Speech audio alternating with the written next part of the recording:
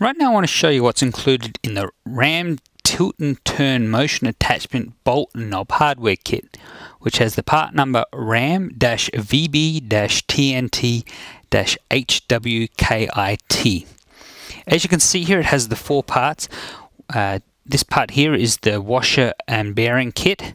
You have the large washer, the large steel washer you have this uh, tightening knob which is just a hand used tighten knob that you can use there.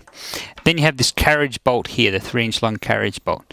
So together what they do is they make up a kit that allows you to uh, connect your tilt and turn uh, device to a swing arm not different to this and lets you use this tightening knob to loosen and uh, let it spin.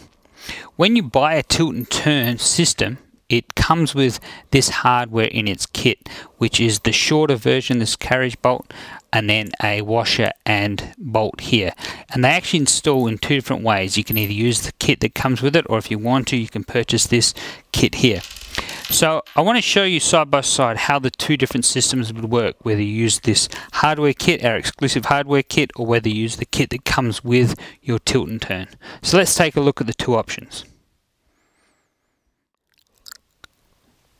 So here are the two mounting options when connecting a tilt and turn system to a RAM swing arm. This one here is a 45 degree and this one here is the 90 degree. So this plate will move in the 90 degree this plate 45 but outside of that these two are exactly the same but I've connected them in a different way. Now as you can see here this one here uses the uh, existing RAM uh, bolt and nut in through here but what you need to do to get this to twist or spin around on the plate is actually use a socket tool and you have to loosen that off to get it to turn and then you have to tighten it up again to hold it in place. With our exclusive knob system, knob mounting system, you can do the same thing but by simply turning this knob you can rotate it. Oops not loose enough. There we go. Rotate it in any way you want and then just simply tighten up the knob once you've done and it will hold it in place.